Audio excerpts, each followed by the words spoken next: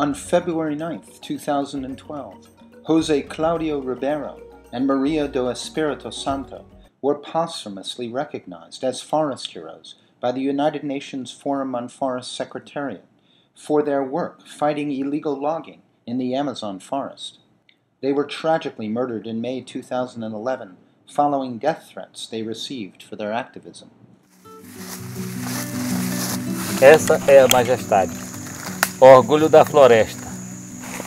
Se depender de mim, essa aqui vai ficar por muitos e muitos anos aqui. Mesmo que ela venha a, a morrer, alguma coisa acontecer com ela, mas esse tronco dela vai ficar aqui. Aqui é onde eu fico sentado, aqui é onde eu venho meditar, recostar aqui e pensar como é que é linda a natureza. Já virou utopia mesmo, mas aqui no meu lote podemos mostrar para a sociedade que é possível se viver com os recursos da floresta de maneira sustentável. Que sou castanheiro desde os sete anos de idade, vivo da floresta, protejo ela de todo jeito. Eu sei que Mexe Vira, em 97, criamos o projeto de assentamento e criamos uma associação aqui dentro e me botaram como presidente dessa associação. Foi o tempo também, começou a vir as indústrias madeireiras e aí começou o ataque à floresta e aí começou o meu embate com eles e aí começou a perseguição. Aí começou o nego querer meu pescoço. A luta não é muito fácil não porque o, o ecologista, o ambientalista é visto como pessoa do atraso. Né? Isso é que dificulta a relação. Da luta, tudo, a primeira coisa importante é a ousadia. Ela é uma coisa que alimenta, para mim, é que alimenta a luta.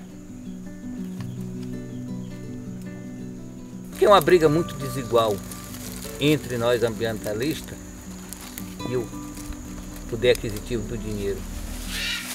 Porque nós brigamos em tudo e tudo e tudo. E o cara chega, impõe o dinheiro em cima da miséria do cara que está lá e aí vai conseguindo aliciar o cara e detonar a floresta. Para toda a natureza sou eu que vivo aqui no meio delas e não pretendo vendê-los. Sou Laísa Santos Sampaio, irmã de Maria do Espírito Santo e cunhada de José Cláudio, que foram homenageados ontem com o Prêmio Heróis da Floresta.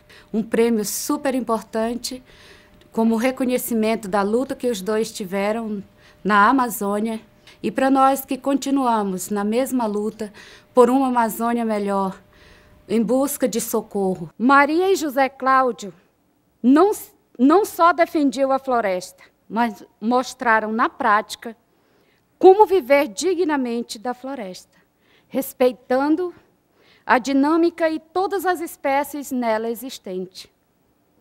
E sobre essa vida na floresta, eles deram exemplos como na educação, ensinando as crianças de que pode ganhar mais com a floresta do que vendendo ou queimando ela